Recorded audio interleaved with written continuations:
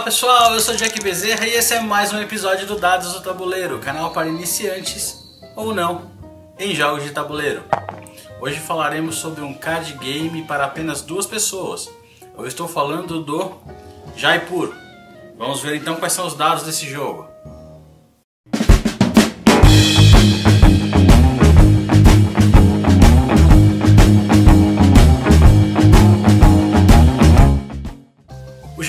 Jogo lançado em 2009 pela editora Gameworks, cujo designer é o uh, suíço Sebastian Pochon. O objetivo do jogo é ser reconhecido como o melhor mercador da cidade de Jaipur e ter o privilégio de pertencer à corte do Marajá. Como eu disse no início, é um jogo para apenas dois jogadores, com um tempo de jogo aproximado de 30 minutos. A idade recomendada na caixa é 12 anos. Eu diria que com 8 anos dá para jogar esse jogo, é um jogo bem tranquilo aí, tá?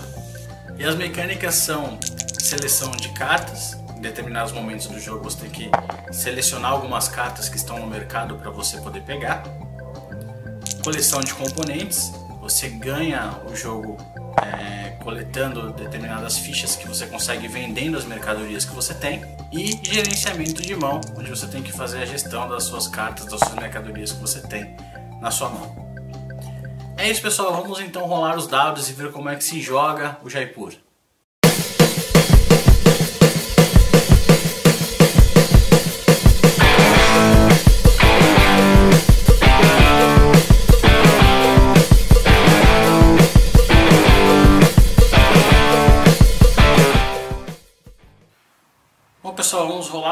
Aqui então para o Jaipur.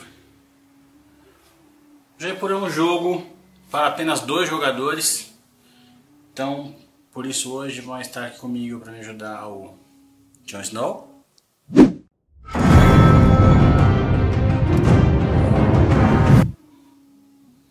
Vai ficar desse lado da tela. E o Jack Steller.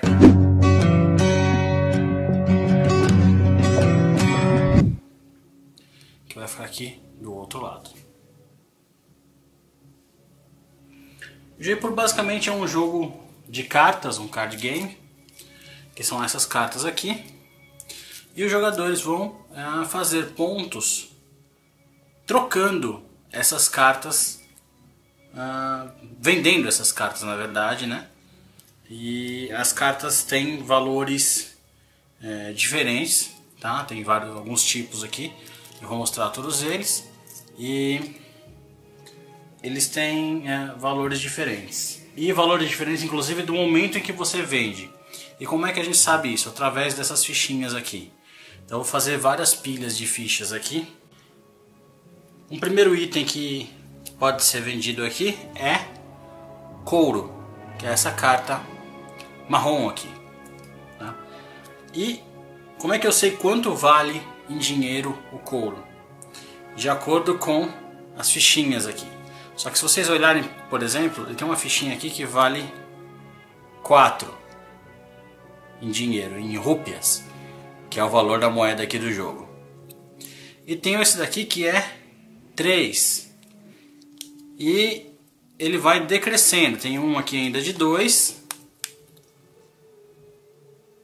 E as demais fichas valem 1. O que significa dizer que elas vão estar numa pilha desse, desse, desse modo.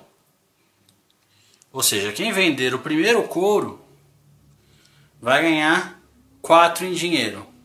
Quem vender o segundo ganha 3, o terceiro ganha 2 e os demais ganha 1.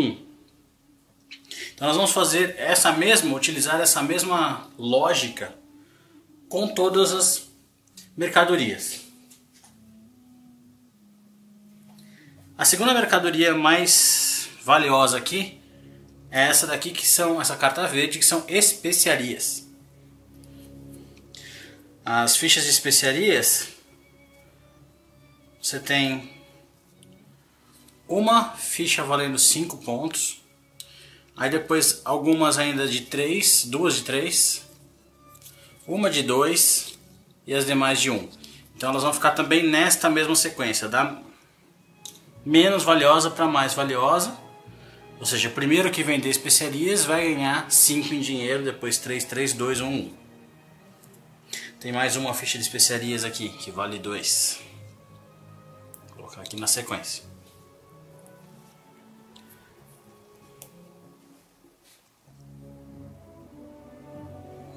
Após essa de especiarias, a carta mais valiosa é essa carta rosa aqui de tecido. E aí eu vou pegar também todas as fichas de cor rosa e colocar na mesma sequência. Nós temos fichas de 5, de 3, de 3, de 2 e de 1 aqui. Então vão ser colocadas na sequência da menor para a maior.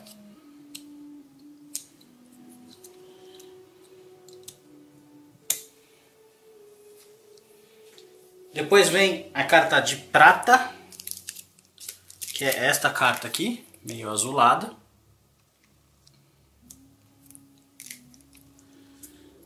Eu tenho que pegar aqui as fichas de prata. São essas daqui, são apenas cinco fichas. Tá? E todas elas valendo o mesmo valor aqui, 5.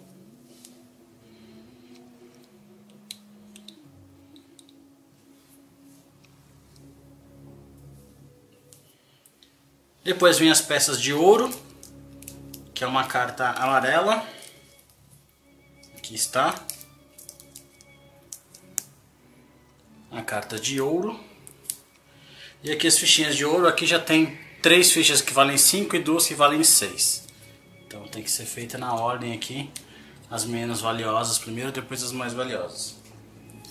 E por fim, a carta de diamantes, que é essa daqui. E também fazer a mesma pilha aqui. Ela tem três fichas que valem 5 e duas que valem 7 moedas.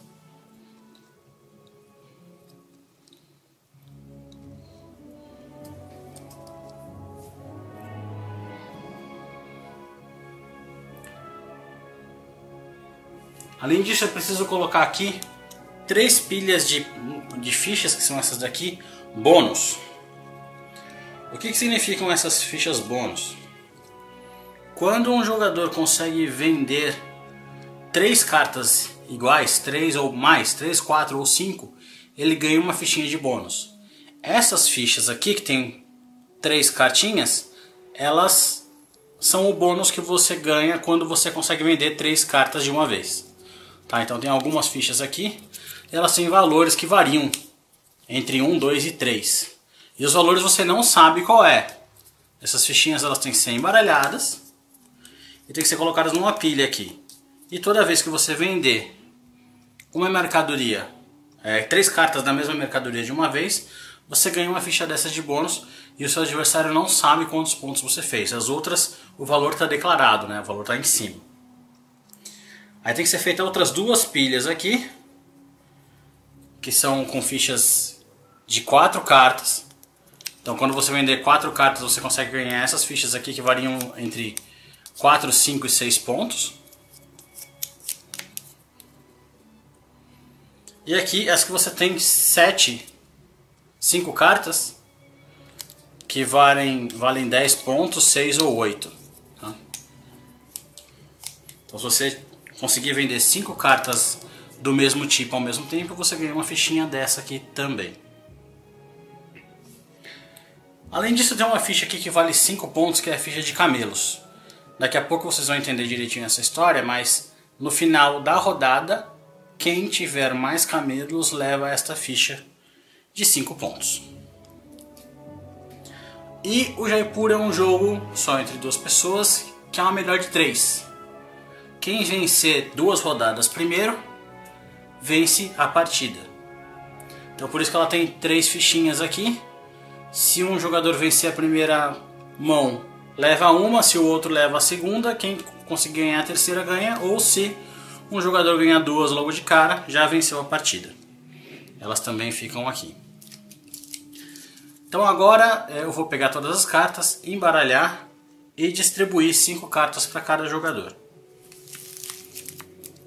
Antes disso, eu já apresentei todas as cartas de produtos para vocês, né, a carta de couro, a carta de especiarias, a carta de tecido, a carta de prata, de ouro e de diamante, mas eu não apresentei ainda esta carta aqui, que é a carta de camelo. E os camelos eles são basicamente é, como você consegue fazer uma boa estratégia para você vencer o jogo, tá? Então, no setup inicial você tem que pegar esses camelos e colocar três deles aqui na mesa para formar a mão inicial. E agora eu vou embaralhar todas as cartas, distribuir cinco para cada um dos jogadores e completar o mercado. Essas cartas que estão na mesa, elas formam o mercado do jogo. Eu vou embaralhar todas elas aqui.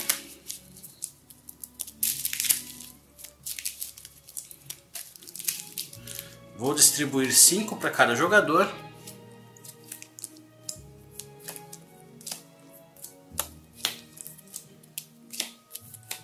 E abrir mais duas aqui para fazer o mercado. Duas cartas de ouro. Então esse aqui é o setup básico da partida. As cinco cartas do mercado. Cinco cartas para cada jogador. E as fichas distribuídas daquele modo que foi explicado agora há pouco. Então agora, é, sorteio quem vai iniciar a partida e quais são as opções que os jogadores têm. Uh, os jogadores podem, eu estou vendo aqui as cartas do, do Teller, do, do, do Snow, e ele tem, eu vou mostrar para vocês sempre que o Snow tem e nunca que o Teller tem, só para vocês entenderem melhor. Então ele tem aqui na mão duas cartas de couro, duas cartas uh, de tecido e uma carta de ouro. Quais são as opções que os jogadores têm? Eles podem pegar cartas ou pode, podem vender cartas. Eles, eles vendem as cartas trocando as cartas por essas fichas. Ocorre que existem algumas regrinhas para você poder pegar as cartas.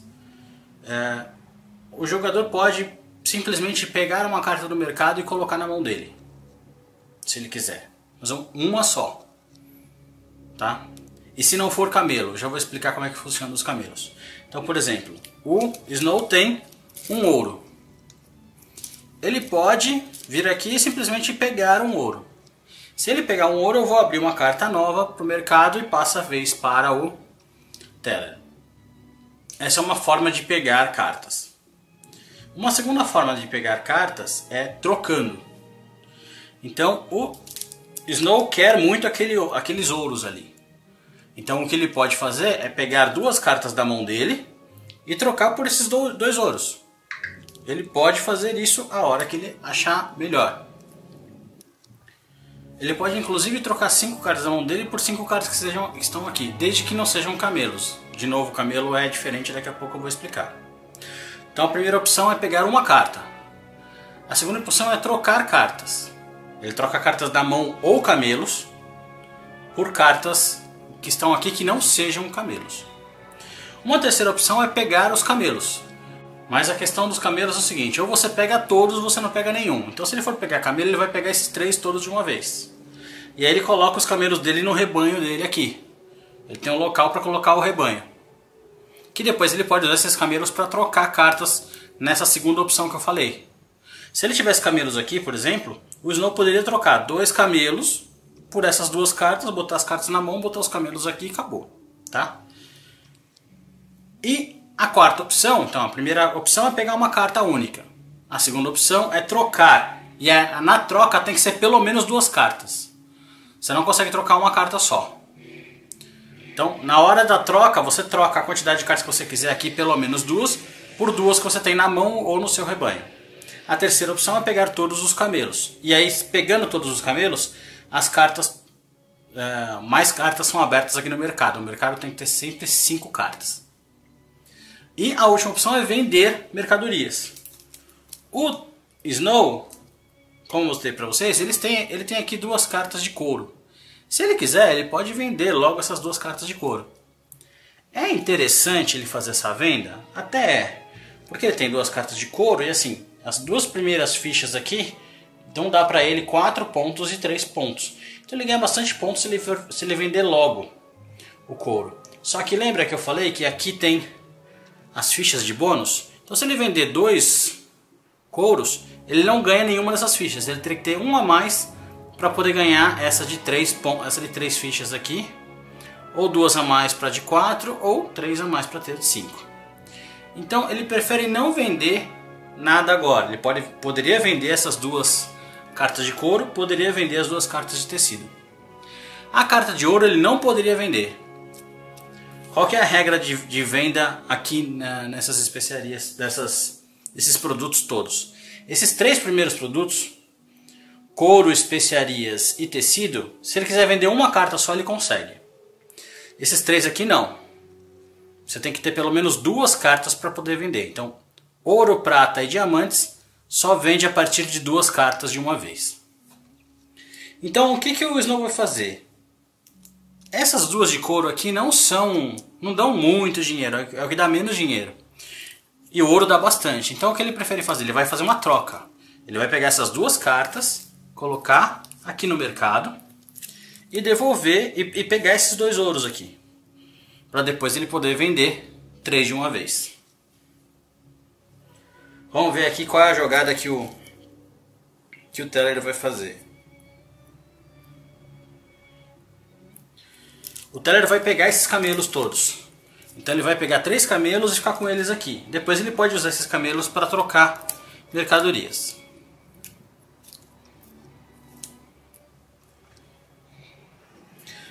Ah, falando em questão de limite de cartas, não há limite de camelos para você ter no seu rebanho, mas há limite de cartas na mão. Você pode ter no máximo 7 cartas na mão. Tá? Então agora o Snow vai fazer uma troca, ele vai fazer uma venda na verdade. Né? Ele vai vender essas três cartas de ouro, elas saem do jogo, por essas três primeiras fichinhas aqui. Então ele já fez os primeiros pontos dele aqui. E porque ele vendeu três cartas de uma vez, ele consegue pegar uma carta bônus, um token bônus que é esse daqui, que vai dar para ele um ponto a mais. Ele sabe disso, o Teller não. Como ele já fez a venda, passou a vez para o Teller.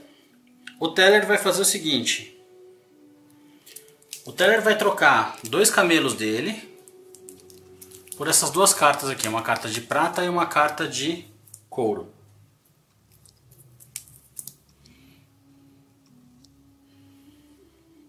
Passa-se a vez para o Snow. E o Snow vai pegar esses dois camelos aqui. E aí abre-se mais duas cartas aqui.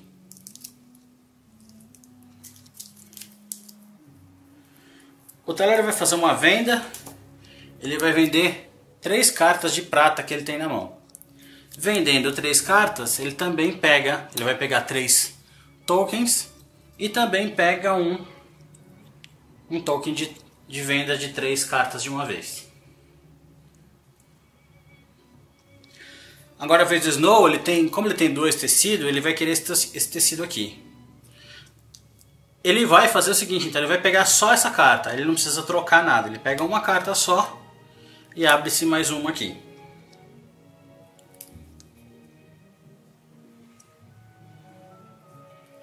O Tyler também vai pegar só uma carta, ele vai pegar essa carta aqui e vai abrir mais uma aqui. Abriu mais um tecido, o Snow vai pegar mais essa carta aqui também e vai abrir mais uma. E assim o jogo se desenrola, eu vou terminar esse round Tá? Quando é que termina o jogo? Se acabarem as cartas daqui, termina o round, conta-se os pontos e finaliza a partida, finaliza aquele round. Lembrando que você tem que ganhar duas rodadas, né, dois rounds para poder vencer a partida. Ou se duas, três dessas fileiras acabarem, se três desses produtos forem totalmente vendidos, naquele momento também o jogo é, finaliza. A gente verifica quem tem mais camelos, entrega essa fichinha e faz a contagem dos pontos. Bom, agora é a vez do Do Teller, o Teller vai fazer uma venda, ele vai vender também três diamantes aqui. Pegar três fichinhas e uma carta de bônus. E um, to um token de bônus. O Snow vai querer de novo esse tecido que abriu aqui. Então ele tem cinco tecidos agora para vender.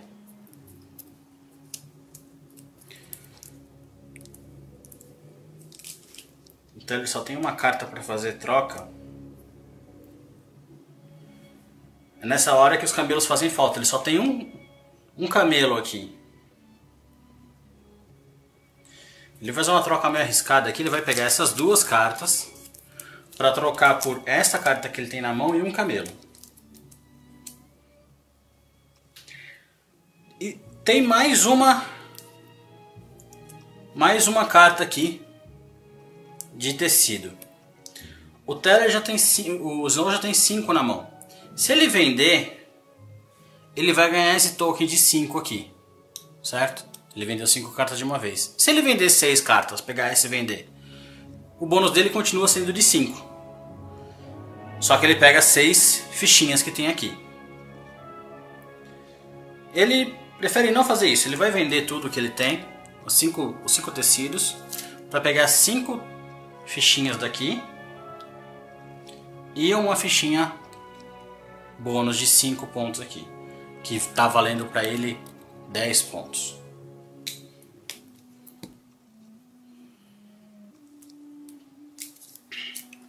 O Teller agora vai vender as três cartas de couro que ele tem na mão aqui.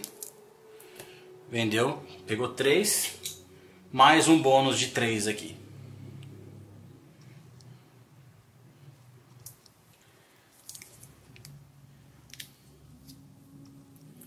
O Snow vai só pegar essa carta de ouro aqui. E o Teller vai só pegar essa carta de prata.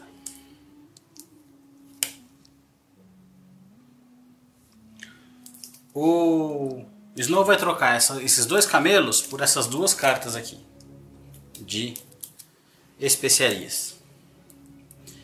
E o Teller ficou sem muita opção aqui, ele vai pegar esses três camelos aqui para abrir mais três cartas.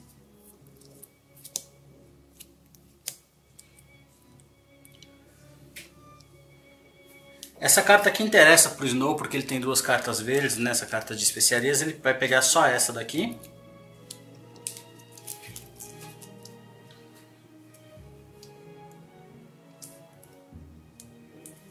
O Teller vai trocar essas duas cartas por dois camelos.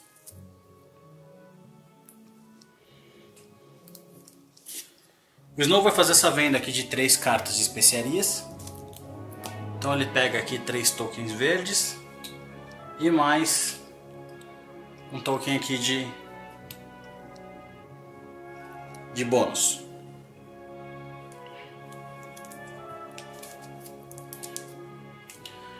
O Teller vai pegar todos esses camelos aqui, vai abrir mais três cartas. O Snow vai pegar só essa carta aqui de diamantes. Agora o Teller tendo pego mais cartas aí, ele consegue pegar bastante cartas aqui agora se ele quiser, mas ele não quer ainda, ele quer pegar só essa carta aqui de prata. E vai abrir mais uma.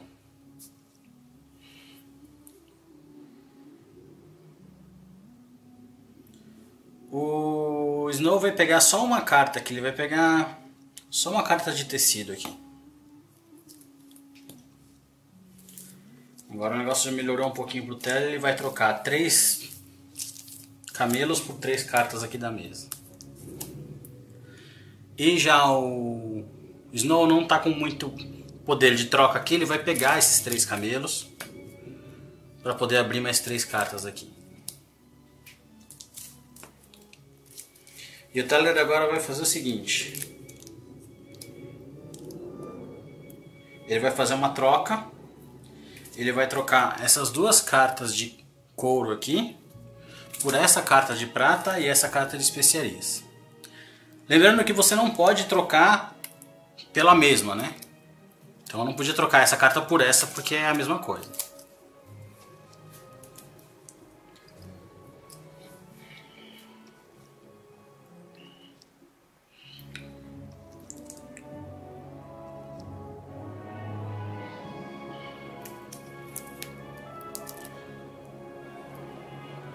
O Snow vai fazer uma troca aqui, ele vai pegar duas cartas de couro e essa carta de tecido por três camelos que ele tinha na mão.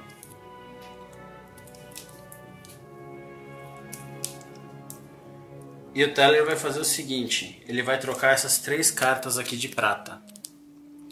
Não tem três tokens de prata aqui, só tem dois. Não tem problema. Ele troca, ele está trocando três cartas por quê? Porque ele quer pegar o token de é, três cartas aqui de bônus.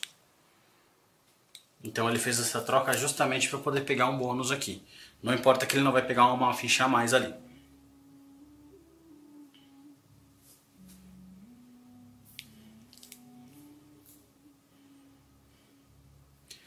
Agora é a vez do Snow, ele tá com muito medo de acabar alguma outra uma outra pilha aí. Então ele vai vender logo essas duas cartas aqui e acabar com aquela pilha ali também. Então ele tá vendendo duas, duas de tecido aqui. Para poder pegar essas duas, esses dois tokens. É mais um, uma pilha que acaba. Se, uma, se acabar uma terceira pilha aqui das de produtos, o jogo se encerra. E é o que vai acontecer agora, porque o Teller vai vender quatro de especiarias aqui. Vai vender essas quatro aqui. Então vai acabar esse outro produto. Ele pega um bônus com quatro aqui. E acabou a rodada. Falta só dar o último bônus, que é o bônus de camelo. Bônus de camelos.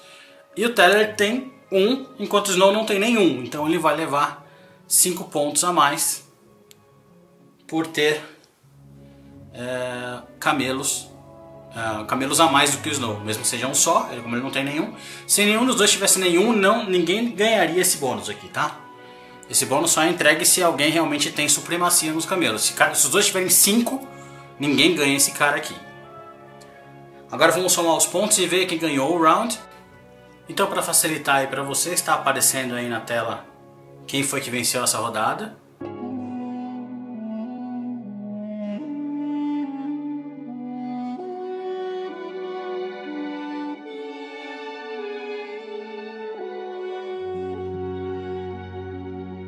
E é isso, o vencedor agora se ganhar a próxima rodada, o jogo termina. Se o outro oponente vencer, tem uma terceira rodada para ver realmente quem venceu a partida. É isso pessoal, esse aqui é o Jaipur, vamos ver então o que, que deu no dado.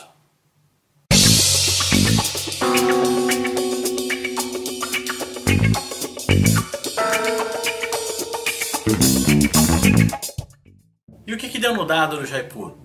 A rejogabilidade dele é baixa, é, ele não tem muitas variantes. Ele é recomendado para pessoas que gostam de jogos de cartas e jogos apenas para duas pessoas. Ele ainda não foi lançado aqui no Brasil, mas será. É, está prometido agora para março de 2018 pela Lulufy. E não dá ainda para dizer o preço, eles ainda não divulgaram qual é o preço que vai chegar o jogo. E a minha nota no BGG e na Ludopedia é 8. Eu diria que é um muito bom, é um filler rápido e estratégico para apenas duas pessoas, eu recomendo. E é isso pessoal, se você gostou do conteúdo, curta o vídeo para ajudar na divulgação, inscrevam-se no canal e até o próximo Dados do Tabuleiro.